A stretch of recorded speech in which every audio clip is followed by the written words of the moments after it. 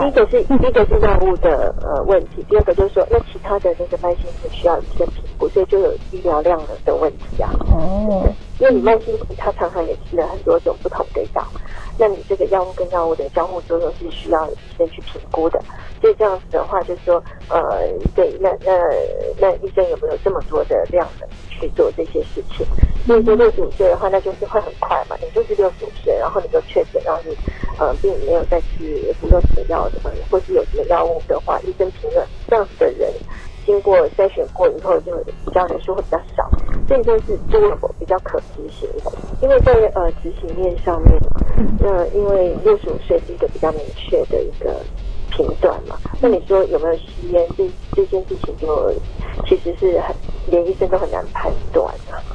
嗯，那那但是但是开放，但是呃，如果说他真的是确诊的，医生评估以后他需要用药，可以用药。但是你在政策上一下下就这样开放的话，会不会啊大家抢着要用药？那其实意思就是说，有些人其实不用药也是会好。但是呃又呃又用了药，那一时之内如果药物没有办法马上到位的时候，那是不是更有高风险的人反而用不到药？所以说现在才会说，哎，六十五岁以上先上病嘛，那这个就是很明确可以执行的。药物的浪费哈，那现在就是说这个药够不够啊？那才能够讲是不是有浪费掉？因为这有些就是风险的评估嘛。就说你呃，如果不先给药的话，也许错过给药的时机。那你对这个人病人来讲，他也许就是呃之后 PCR 是阴性，是因为呃你药物也发挥作用啊，所以再一次裁剪的时候 PCR 是没有可能啊。所以这个很难讲，就是说之前的事一定是伪阳性嘛。那可是如果不给药的话，它有可能变成重症的风险。所以，这整个治疗的过程或是这个给药的过程，都是一种风险的评估啦。嗯所以说，你不能说，哎，有一些人是这样，那少数的人是这样子。那这样子的话，政策应该怎么定？这样，那通常还是以救人为主。所以说，就是不希望能够错过一些本来可以治疗的人，然后错过时间，然后他如果变成重症，那就不好了。假设如果先给药了，那让他好的更快啊，也有可能。所以这个真的是很难说，哎，是不是这样白给了哈？那因为你本来就是在一种防风险的一个概念啊。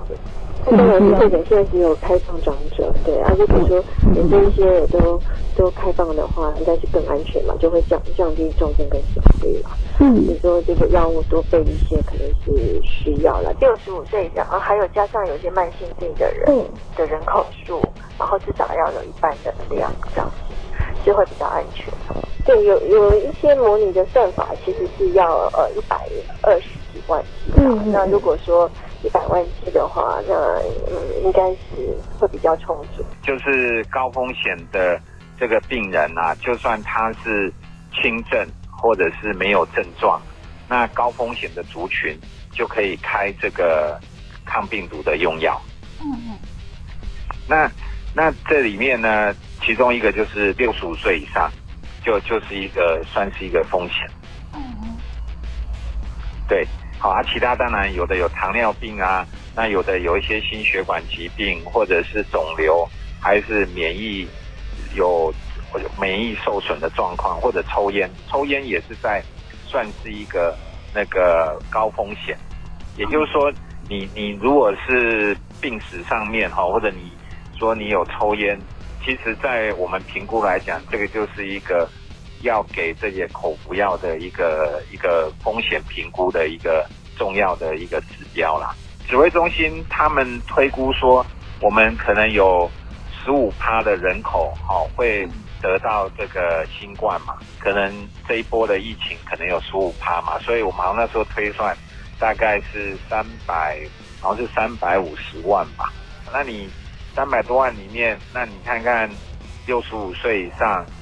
它占的大概大概比例有多少啊？对啊，那百分之八，当然也是差不多二二十几万、二三十万是六十五岁以上吧。